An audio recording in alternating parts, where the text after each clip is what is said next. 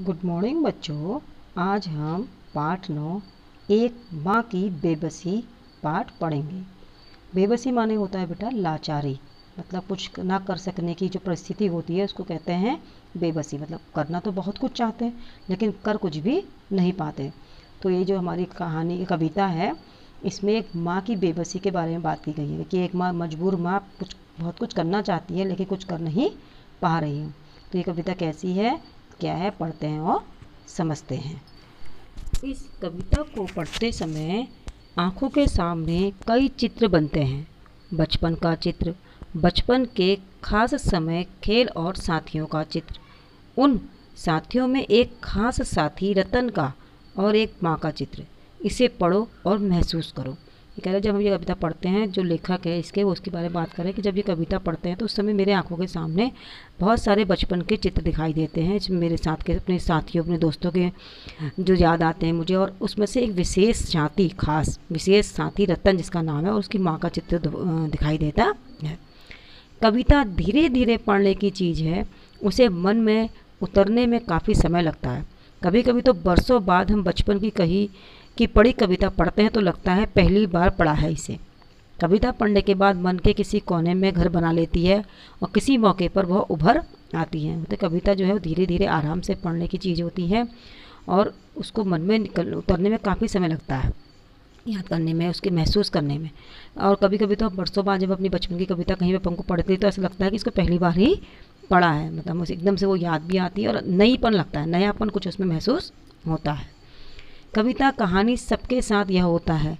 इसीलिए हमें इससे चिंतित होने की ज़रूरत नहीं है कि कविता एक बार में पूरी तरह समझ में आ रही है या नहीं।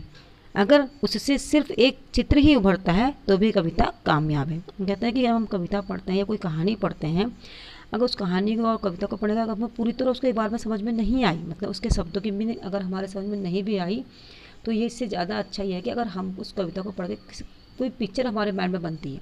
मतलब उस कहानी को, पढ़ के कुछ हमारी चीज़ हमें याद आती है, उससे मिलती जुलती कोई चीज़ याद है तो इसका मतलब यह है कि कविता जो है पढ़ने में काम है यानी कविता जो है वो कामयाब है, यानी अपनी छाप छोड़ने में किसी के मन में वो कामयाब हो गई है। तो ये कविता के बारे में कहा गया, अब देखते हैं कि कविता क्या है। ना जाने किस अदृश्य पड़ोस से निकल कर आता था वह, खेलने हमारे साथ, रतन जो बोल नहीं सकता था। खेलता था हमारे साथ एक टूटे खिलौने की तरह। देखने में हम बच्चों के ही तरह था, वह भी एक बच्चा। लेकिन हम बच्चों के लिए अजूबा था, क्योंकि हमसे भिन्न था। तो लेखक कह रहा है कि हमारे पड़ोस में अदृश्य माने जो दिखाई ना देता। है तो हमारे पड़ोस कहीं आसपास का, लेकिन हमें उसके बारे में कोई ज़्यादा पता नहीं था। केवल वो आता था कहीं से हम लोगों के साथ खेलने के लिए, जिसका नाम था रतन। और जो बोल नहीं सकता था, यानी कि गूँगा था।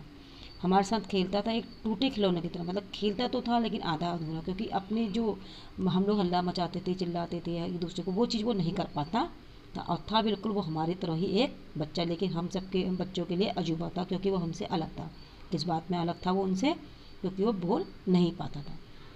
थोड़ा घबराते भी थे हम उससे, क्योंकि समझ नहीं पाते थे उसकी घबराहटों को। ना इशारों में कहीं उसकी बातों को, ना उसकी भयभीत आँखों में हर समय दिखती उसके अंदर की छटपटाहटों को। वो कह रहे हम थोड़ा उसे घबराते भी थे, क्योंकि हम उसको समझ नहीं पाते थे। अब वो हमें आपको पता है कि लोग इशारों से बातें करते हैं, हर कोई इस बातों को नहीं समझ सकता। तो बच्चे कह रहे हम उससे थोड़ा सा घबराते भी थे और उसकी बातों को नहीं समझ पाते थे और ना उसकी घबराहटों की, वो घबराता क्यों है? और ना उसके इशारों से कई बातों को, ना उसकी भयभीत आँखों, उसके मन का जो डर था। उसके मन में क्या डर होगा? वही सोचता होगा कि कहीं ये लोग मेरी बात समझेंगे, नहीं समझेंगे, मुझे अपने साथ खिलाएँगे, नहीं खिलाएँगे। शायद ये डर उसके आँखों में दिखाई देता और उसके अंदर की छटपटाहट हमें हमेशा दिखती थी। मतलब हम ये समझ तो सकते थे कि वो भी हमारे संग खेलना, कूदना, हंसना, बोलना चाहता है, लेकिन कर नहीं पाता है। जितनी देर वो रहता, पास बैठी उसकी माँ, निहारती रहती उसका खेलना। अब जैसे जैसे कुछ बेहतर समझने लगा हूँ, उनकी भाषा जो बोल नहीं पाते हैं। याद आती है रतन से अधिक। उसकी माँ की आँखों में झलकती उसकी बेबसी। तो लेखक कहता है कि वो जितनी देर वहाँ पर रहता था, उसकी माँ उसके पास बैठ के उसको निहारती, यानी देखती रहती थी तो कैसे खेल रहा है। तो अब मैं जैसे बड़ा हो गया हूँ थोड़ा तो अब मैं ये समझने लगा हूँ कि जो बोल नहीं पाते, उनकी भाषा को मैं थोड़ा समझने लगा हूँ कि वो कैसे, क्या बोलते हैं उनके किस इशारों से क्या क्या मतलब होता है। तो मुझे उसकी बहुत याद आती है। और उससे भी ज़्यादा मुझे उसकी माँ की आँखों में झलकती उसकी माँ की आँखें याद आती है, जो बेबस, लाचार माँ की आँखें वो सोचती जो अपने बच्चे को, अन्य बच्चों के संग खेलता नहीं देखती थी, और तो कैसा महसूस करती थी। वो चाहती थी कि मेरा बच्चा भी इन बच्चों के संग खेले, कूदे, बोले, लेकिन वो बच्चा ऐसा नहीं कर सकता। तो और वो माँ बेबस थी, लाचार थी, क्योंकि वो चाहते हुए भी कुछ नहीं कर सकती थी। तो वही लेखक कह रहा है, अपने बचपन की घटना को याद करते कि एक माँ की आँखों की बेबसी मुझे बड़े होने के बाद समझ में आ रही जबकि मैं किसी गूँगे व्यक्ति की भाषा को थोड़ा समझने लगा हूँ तो उस समय मुझे बचपन में एक दोस्त है रतन, जिसकी याद आती है। तो ये पोयम है, कहाँ कविता है, एक बच्चे की और उसकी माँ की, जो कि बोल नहीं सकता था, और लेखक उसके साथ अपने संग बिताए उसके बचपन की घटना को याद करके आपको उसके बारे में बता रहा है। धन्यवाद।